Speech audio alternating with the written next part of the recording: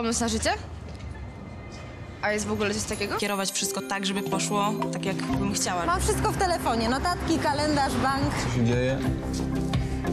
To się dzieje, nie? Dużo konsekwencji, niektórzy nazywają to uporem. Żeby głowa się pogodziła z marzeniami. Nie spać, chodzić. No właśnie. Każdy pomysł na życie jest dobry, a najlepszy jest Twój. Aplikacja mobilna wspiera tych, którzy chcą żyć po swojemu. ING Bank Śląski. Liczą się ludzie.